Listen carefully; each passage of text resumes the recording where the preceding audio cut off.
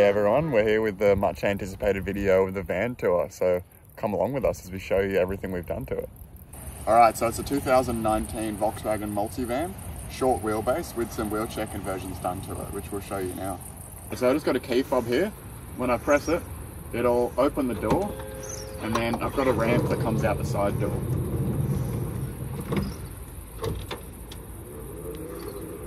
Just like that.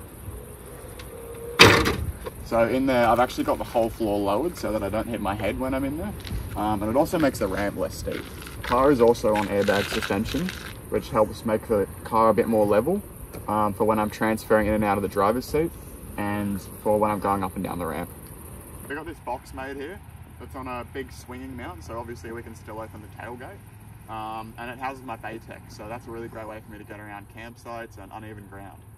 So the first thing back here that we have is one of our massive sliding drawers. Uh, this one goes underneath the bed and slides out using two massive rails. Unclip it and you just slide it out. Lots of storage in there. And this sliding drawer here is our kitchen. Um, so what we have here is we have a 30 litre drawer fridge that slides out the front here. Um, stores heaps of food. Uh, we haven't had any issues with storing any food for our entire trip, so it's been really good. Um, and then we just pull this out using our handy towel rail, slide it all the way out. And we have two massive sliding drawers here. So this is where we keep all of our kitchen utensils and plates and knives and forks and cups and chopping boards and things like that, um, as well as some food storage as well. Up the top here, we also have a bit of extra storage up here. So you can see we're storing a blanket, as well as some extra things. And we also have an extra sliding out part here, which allows us to store some extra items up the top up here. So this is where we keep our gas stove as well as some of our gas cylinders and some curtains and other items that don't need refrigeration. We've also got this fabulous trestle table which folds up and fits right into our van. Uh, AJ and I use this for our cooking and we also use these lovely collapsible 20 litre water containers. Um, a lot of the campsites we go to don't actually have any drinking water so we use all of these for any drinking water that we want to use as well as any washing up that we want to do.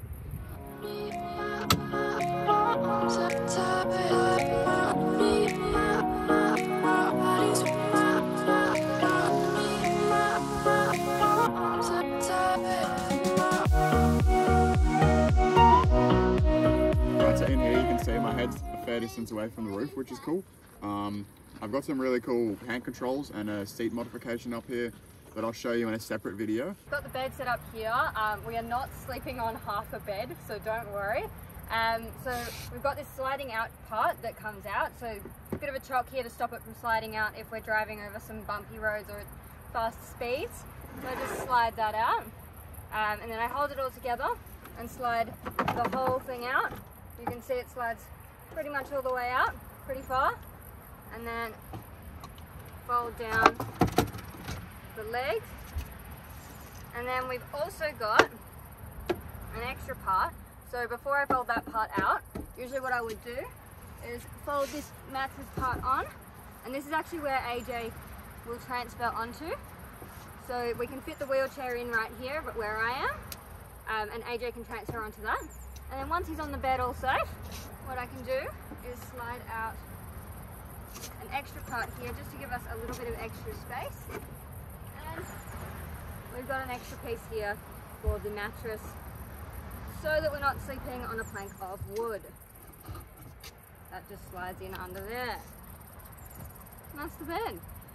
And it all folds away quite easily too.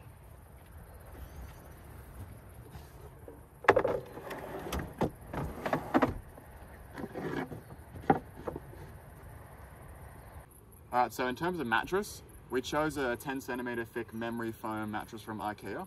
Uh, it's got a bit of an eggshell here, which helps with pressure. So far it's been great, haven't had any issues with skin. Uh, now I'll quickly run you through the 12 volt system we got here. Very basic, so we got a 100 amp hour battery in this battery box, which we've got hooked up to a DC to DC charger, which runs under the car to the main battery. Uh, then we've also got a 12 volt control box here, which has a voltmeter, a few cigarette lighters, and some USB and USB-C ports.